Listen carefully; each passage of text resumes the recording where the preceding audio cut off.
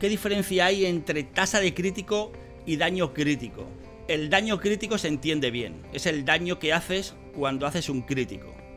Y la tasa de crítico es el porcentaje que tienes de que el disparo que has hecho sea o no sea, bueno, el disparo o la habilidad que tienes, sea o no sea crítica.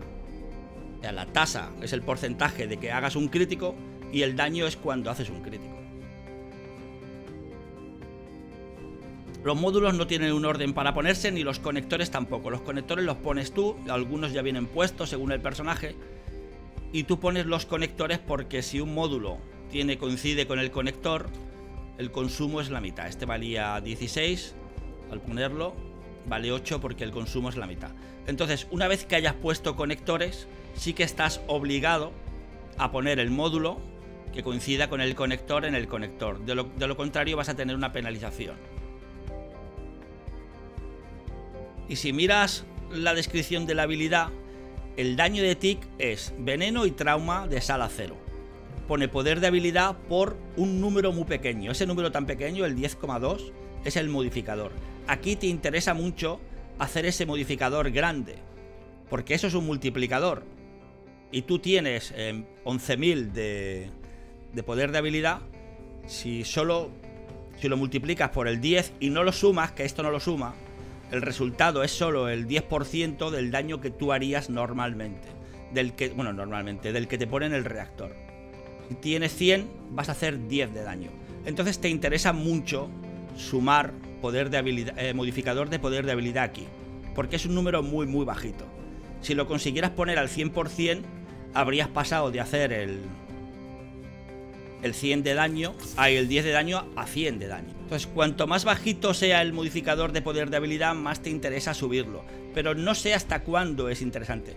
Insisto en que te interesa subir los dos que cuando, se, cuando yo he escuchado otras explicaciones parece que solo te interese uno u otro, y no es así. A ti te interesa subir los dos. Y solo en el caso de que tuvieras que decidir entre uno y otro, deberías decidir si subes poder de habilidad o modificador. Para saber cualquier cosa, en este caso la jaula, le das a la J, información de acceso, en este caso es un arma alarma, datos de investigación, os ponéis encima de la pieza que queráis, le dais a la F, y os dice la zona y la dificultad en la que sale. Ole. Yo me pillaría y de hecho es lo que me he pillado.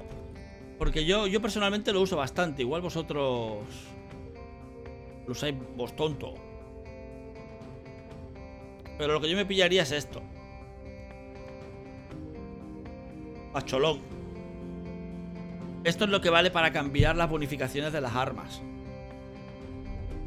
Y hacer 200 vale 30 millones. Y 200 se van así. Sí, si al legado le subes la habilidad única, harás, hará más daño eh, los dots de fuego en particular eran, ¿no? Si la subes, esta está subida a tope. Se quedará aquí. Bajará la resistencia de fuego un 5% y la resistencia de fuego por acumulación, que son los dots un 0,8% y hará más daño, pero es que es muy poquito, Carlos. Es muy poquito. Sí que, sí que es verdad que haces más. Esta es buena arma, por cierto. Esta es muy buena arma. Pero que te daría igual este tema.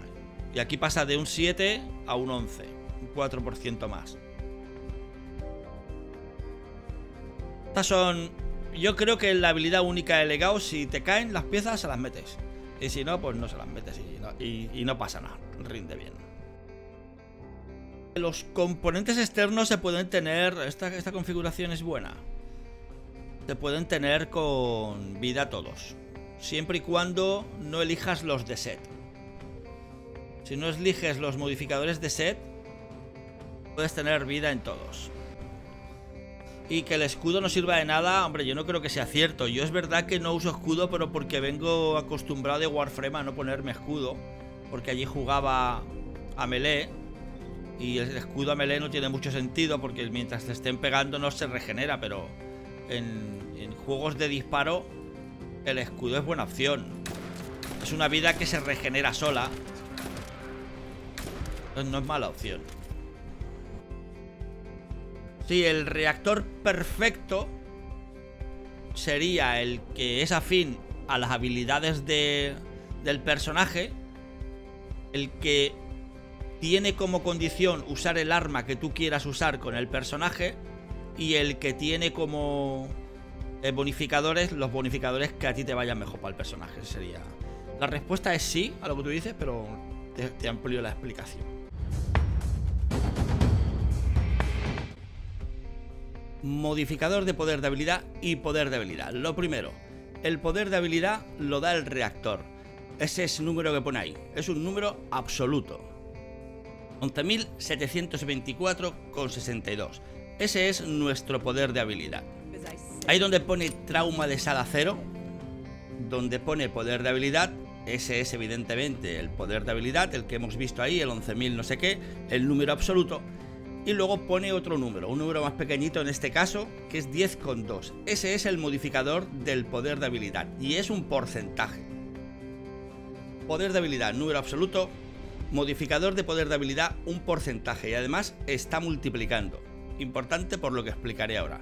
Cuando vosotros añadís poder de habilidad, cuando añadís poder de habilidad a, vuestra build, lo que estáis haciendo es incrementar siempre el 100% de las veces vuestro poder de habilidad. Porque lo que, lo que se hace es hallar en este caso el 65% del poder de habilidad que teníamos y sumárselo. Y eso nos garantiza que siempre vamos a tener un poder de habilidad mayor. El poder de habilidad era un número absoluto, aquí se le añade un porcentaje de él mismo. Un porcentaje del propio poder de habilidad. Esto supongo que se entenderá. Cuando añadimos modificador de poder de habilidad, el modificador de poder de habilidad ya era un porcentaje es una adición. Si antes teníamos 10, ahora tenemos que tener 60. Y de hecho lo tenemos al lado. En verde pone el poder de habilidad por 60,1.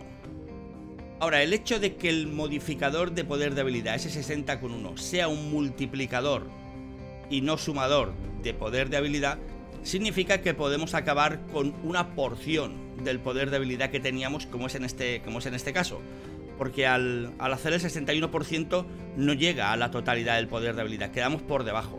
Por eso es importante, y supongo que esto era lo que vosotros queréis saber, por eso es importante añadirle poder, eh, modificador de poder de habilidad si tienes un número pequeñito. El caso es que pequeñito dependerá de cuánto poder de habilidad sacrifiques para poder el modificador de poder de habilidad, ya que en realidad lo que más te mejora a ti es subir ambas. A ti lo que te mejora en la build es subir poder de habilidad y modificador de poder de habilidad. Y solo deberás dudar entre ellos, solo deberás decidir si quito uno o quito otro en el caso de que no te quepa ese mod y sea más importante el otro que estés poniendo, sea el que sea. Entonces, si tenéis un poder de habilidad, hay un modificador de poder de habilidad muy bajito, como en este caso que era 10, ahí en trauma 0, Claro, sumarle 50 supone multiplicar por muchísimo al poder de habilidad. Por 6 veces más, de hecho. Sin embargo, si, el modificador de, poder de habilidad en lugar de, ser 10 fuera 10.000, sumarle 50 supondría muy poquito, porque serían 10.050. 10.050 en comparación con 10.000 es muy poco. 60 en comparación con 10 es muchísimo. ¿Cuándo hay que aplicar cada uno? Siempre deberíais aplicar los dos. Y si tenéis que decidir entre uno y otro, pues decidirlo en función de lo pequeño que sea, bueno, en función de lo pequeño que sea el modificador de poder de habilidad y también en función de lo grande que sea el poder de habilidad, el porcentaje de poder de habilidad que vayáis a quitar. Esa parte no os la puedo decir. Tendréis que calcularlo vosotros, que no creo que lo calculemos, y si no, pues ahí rollo intuición vuestra.